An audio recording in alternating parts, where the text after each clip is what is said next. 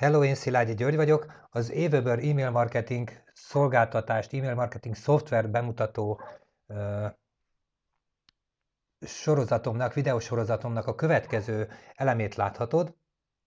Ebben a videóban azt fogom neked megmutatni, hogy hogyan hozhatsz létre uh, csoportot, ugye, ami az Aweberben és az, az Aweberben való munka megkezdésének az első állomása kell, hogy legyen, addig nem tudsz semmit csinálni, amíg, amíg csoportot nem hoztál itt létre. Tehát ez érthető is, hiszen, hiszen egy csoporthoz kell aztán kötni majd minden további, további tevékenységet ebben a, a, a te, az e-mail marketingedben, hiszen a, ebbe a csoportba te tudod, hogy kiket akarsz összegyűjteni, te tudod, hogy kiknek akarsz információt adni. Nyilván itt a céljaidnak megfelelően fogod majd létrehozni aztán a, az őnekik megfelelő üzeneteket, az őnekik megfelelő további információkat, amiket ugye közölni akarsz velük. Na hát akkor kezdjünk hozzá, jelentkezz be egyszerűen az Aweber fiókodba, és nézzük akkor, hogy hogy is kell ezt csinálni. Ugye a csoport, az első csoportot akkor kell, hogy létrehozd, amikor ugye létrehoztad, a, elkezded létrehozni a fiókodat. Hát én azt a folyamatot most nem tudom megmutatni, hiszen nekem már ugye ezek megvannak, de nagyon hasonló lesz az első csoportnak a létrehozása ott is, tehát a lépéseket fel fogod ismerni, és, és csak onnan enged elindulni a, a rendszer, tehát csak attól fogsz tudni elindulni. És, és hasonlóak lesznek a lépések most is. Viszont minden további csoportot már majd itt tudsz megcsinálni, tehát amikor már ugye, ugye elkezdett használni a rendszert, már egy csoportod lesz, amit legelőször létrehoztál, aztán az összes többit, az összes következőket majd már innen fogod tudni megtenni. Hát nekem már van jó néhány listám, jó néhány csoportom itt, de most létrehozok egy újat azért, hogy lásd, hogy hogy kell ezt csinálni. Na nézzük akkor. Tehát ugye itt a lista nevem mellett megtalálod ezt a Create and Manage List című kis linket, és látod, ugye ez az első az oldalon, amit tudsz csinálni, tehát minden ez alá van már rendelve, minden további tevékenység a listától kell, hogy elinduljon. Amikor bármit csinálsz, azt az adott listára, a kiválasztott listádra vonatkozóan fogod megcsinálni. Na most hozzunk létre akkor egy új listát először is. Tehát azt mondjuk, hogy új lista létrehozása, itt erre a zöld gombra kattintunk. Egyébként itt ebben a menüpontban tudod a listáidat aktiválni, amit az előbb láttunk.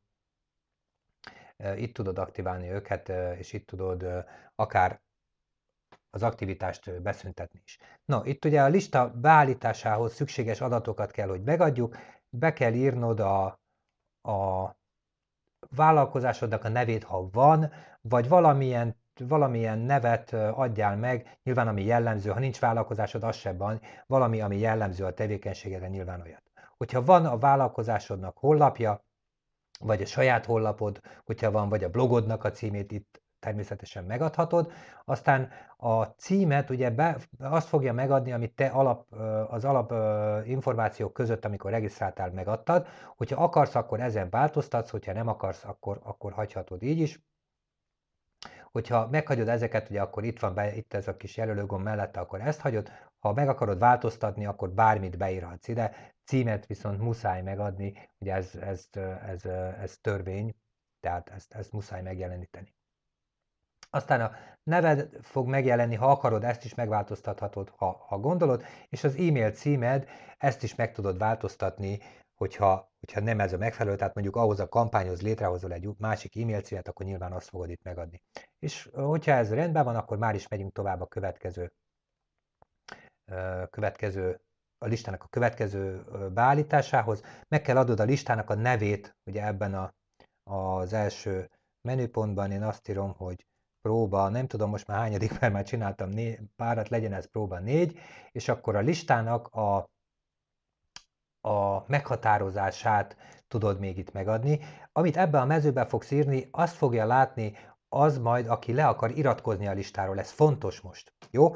Tehát itt ide valami olyasmit írjál, hogy azért gondolja meg az illető, hogy tényleg leiratkozik-e a listáról, vagy nem. Bármit írhatsz be, én most írok néhány karakter, teljesen mindegy, hogy mit írsz be, ugye 400 karakterig írhatsz bele. Fontos, tehát még egyszer ezt fogják látni majd, amikor le akarnak iratkozni a listádról. És akkor az utolsó lépése a lista beállításának. Ez annak az üzenetnek a beállítása, amit majd a feliratkozód legelőször fog kapni.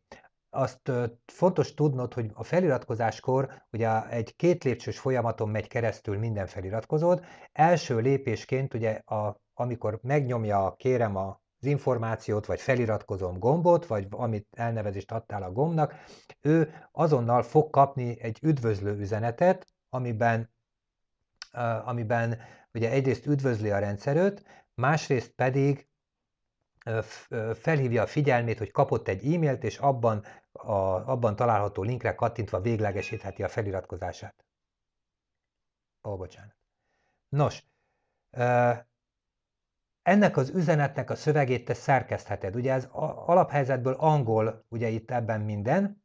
Itt láthatod, itt tudsz választani. Ha például angol nyelvű listát csinálsz, akkor itt, itt az alapbeállításokból tudsz választani, de ha magyar nyelvűt akarsz csinálni, akkor ugye itt az alsó gombra, kat, a linkre kattintva, itt te magad megadhatod a szövegét, a tárgysora lesz ez az e-mailednek, amit kiküldesz. Nem tudom, micsoda, bármi, amit akarsz és amikor ez megvan, akkor, akkor majd ugye ezt, ezt elmentheted később.